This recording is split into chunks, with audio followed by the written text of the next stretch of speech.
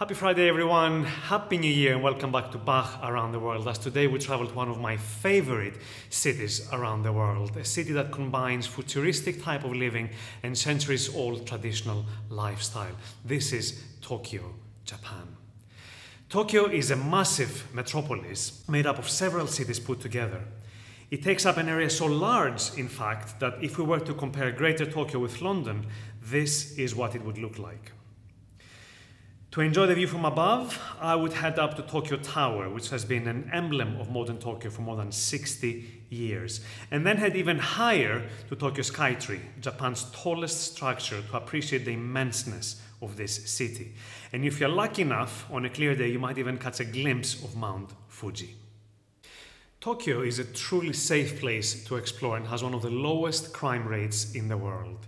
Forget your wallet or your mobile phone, for example, in the metro, where you can be sure to get it back through the lost and found at the station. But it is also a city of extremes.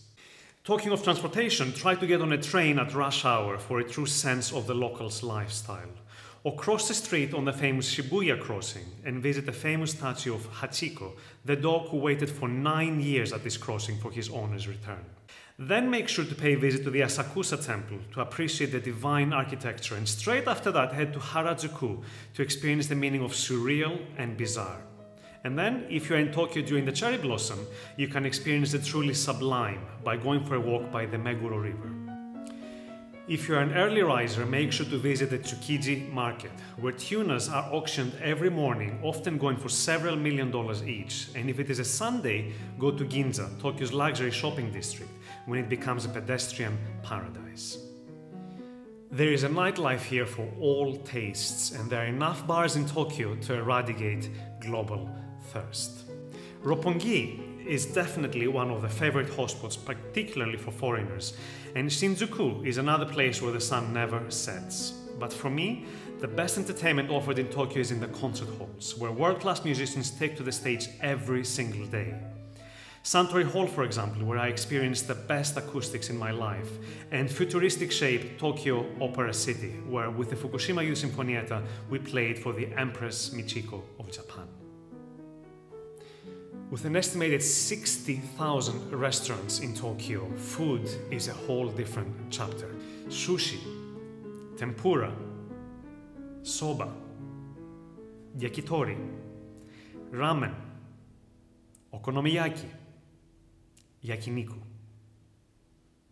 And of course, with your meal, dive headfirst into the world of Nihon Shu, the Japanese rice wine, and experience a completely different world of wine. What I think makes Tokyo exceptionally unique is the hospitality. This might be Japan's capital and biggest city, but the locals will go out of their way to show you around, to help you with a problem, and to make you feel welcome. The attention to detail, the expression of gratitude and kindness, the obsession for perfection, the high value for aesthetics are all seen and felt in everyday interactions. Don't be surprised if you ask for directions on the street and 20 years later you're still friends with that person. Would you like a dinner recommendation in Tokyo? Well, drop me a line and I'll be sure to let you know. And don't forget to uh, tune in next Friday as we travel to one of the most romantic places on earth to watch the sunset from the cliffs of Santorini. See you then.